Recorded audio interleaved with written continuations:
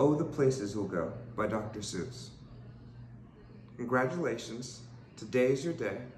You're off to great places, you're off and away.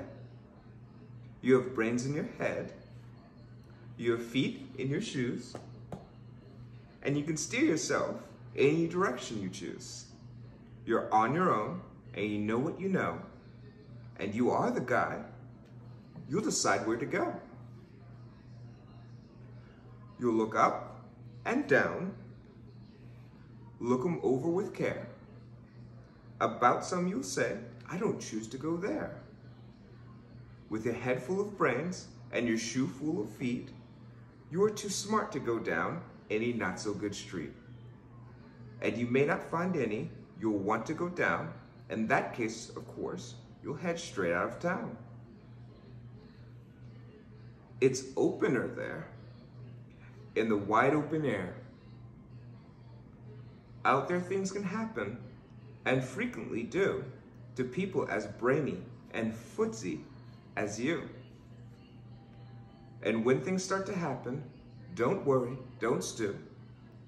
Just go right along, you'll start happening too. Oh, the places you'll go. You'll be on your way up. You'll be seeing great sights. You'll join the high flyers who soar the high heights. You won't lag behind because you'll have the speed. You'll pass the whole gang and you'll soon take the lead. Wherever you fly, you'll be the best of the best. Wherever you go, you will top all the rest.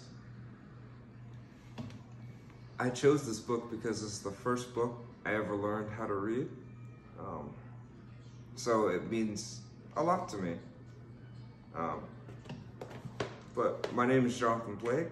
Um, I have six years military experience. I have three and a half years tutoring experience and seven, eight months experience in the classroom, um, assisting, assisting teachers with uh, middle schoolers that had behavioral or intellectual disabilities. Um, I I thank you for giving me this chance to be considered, and I hope to hear from you soon. Thank you.